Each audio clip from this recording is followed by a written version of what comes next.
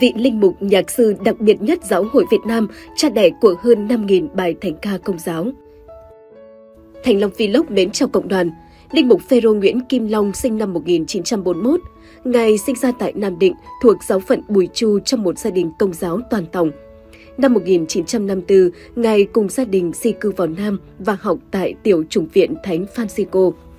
Năm 1957, ở tuổi 17, cậu Kim Long đã viết tác phẩm thánh ca đầu tay mang tên Con Hân Hoan. Ba năm sau, cậu phổ nhạc lời Việt cho bản Kinh Hòa Bình của Thánh Francisco thành Assisi. Đến nay, tác phẩm này được cho là nổi bật nhất của ngài. Ngài được biết đến nhiều với vai trò là một nhạc sĩ, nhạc sư có bút danh Kim Long – Ngài nguyên là Phó Chủ tịch Ủy ban Thánh nhạc, nguyên Tổng Thư ký Ủy ban Phụng tự, trực thuộc Hội đồng Giám mục Việt Nam. Năm 2018, nhạc sư Kim Long mừng 50 năm Hồng Ân Thánh chức linh mục của mình.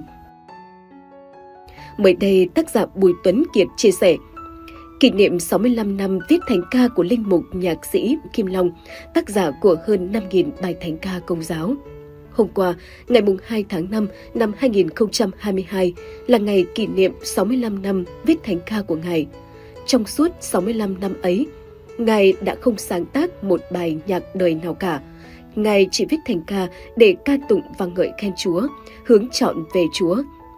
Linh mục, nhạc sĩ, nhạc sư Kim Long đã đóng góp cho Giáo hội Công giáo Việt Nam nói riêng, cũng như Giáo hội Công giáo nói chung, một kho tàng âm nhạc đồ sộ với hơn 5.000 bài thánh ca. 25 tập Kalendi, 5 tập Trung lời ngợi ca, tuyển hợp ca Thánh Vịnh, Thánh ca cùng nhiều tuyển tập thánh ca khác. Trong số hơn 5.000 bài thánh ca ấy, có những bài thánh ca mà ai trong chúng ta cũng đã từng hát, từng nghe qua, như Chúa không lầm, từng ngàn xưa, bài ca ngàn trùng, cảm mến ân tình, Kalendi, nếu có thể đầy nhiệm tích và những bài thánh ca về Đức Mẹ như bài ca dân mẹ, kính chào nữ phương, kính mừng Maria, kính lạy mẹ, đặc biệt là bài Kinh Hòa Bình. Bài thánh ca mà không chỉ những người Kitô hữu mà cả những người không có niềm tin vào Thiên Chúa cũng đã từng biết và nghe qua. Xin chúc mừng người nghệ sĩ của Thiên Chúa với con tim luôn dâng ý thơ tuyệt vời, dệt bài ca dâng tiến đức vua và luôn mời gọi mọi người ca lên đi chúc tụng Chúa cả uy quyền. Hãy sống vui tình bác ái.